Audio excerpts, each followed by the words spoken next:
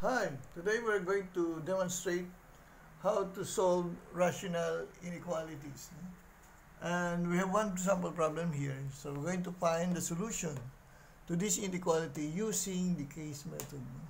Actually, in solving uh, inequalities, we are choosing between two conditions where a and b, the fraction, is greater than 0 or a and b is less than 0. So we are given here 3 over x is greater than 4. So this fraction here, this uh, a is 3 and b is x, is greater than 4. We're going to use this condition. So if a over b, or this fraction here, is greater than 0, then the following are possible. So uh, since this is a case method, uh, the case 1, this A here will be equated or will be uh, A, A is greater than 0 and B is greater than 0. For case 2, the relation A is less than 0 and B is less than 0. We're going to, we're going to uh, uh, we're going to solve these two conditions here, these two cases here. The solution, for the solution, you use this property here since the fraction is greater than 0. So, we transpose uh, 4 to the uh, left side of the inequality. So, 3 over x minus 4 is greater than 0. So, and uh, 3 minus 4x using the common uh, the, LCD x 3 minus 4x is over x is greater than 0. So we first uh, try to uh, solve the case 1 and see, no? If we test the case, case 1 and see if this will meet, if we will meet the conditions, no? So 3 minus 4x, uh, we first uh, check the, the numerator, 3 minus 4 4x is greater than 0. So, we transpose 3 to the uh, right side, so negative 4x is greater than negative 3. And divide the inequality by negative 4. So, when we divide uh, both sides of inequality by negative 4, we're changing the sign, no? So, we change the sign to the, instead of greater than, we use less than, no? So negative 3 over negative 4 is equal to 3 fourth, no? Positive 3 fourth. So we test also the denominator which is x is also greater than 0. So we have here and we're going to grab no, these two points here. So since we are using greater than and less than, there's no equality signs at the bottom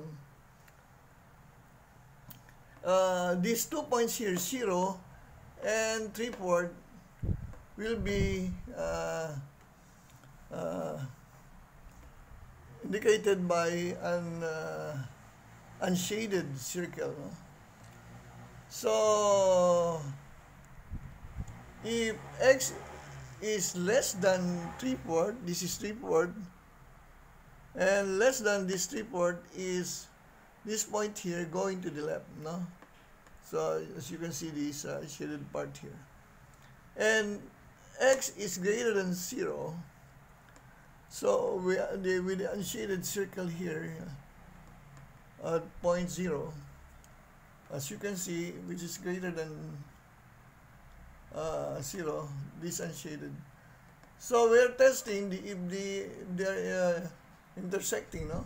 So this the intersection of these two conditions here, the denominator, denominator and the numerator, is intersecting at these points here. No? So, we check also the case 2, where 3 minus 4x is less than 0. So, we transpose again 3 to the right side of this inequality. So, negative 4x is less than negative 3.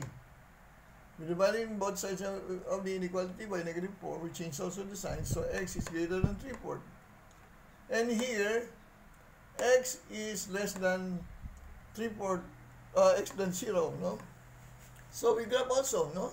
Uh, greater than 3 fourths. So this is 3 fourths. The greater part is from this point here, no? Excluding 3 fourths because of the indicated by the unshaded circle here, uh, going to infinity to the right, no? So less than 0, no? A point uh, less than 0 to the infinity to the left. As you can see, case 2 is not intersecting. There's no uh, intersection for these two points here.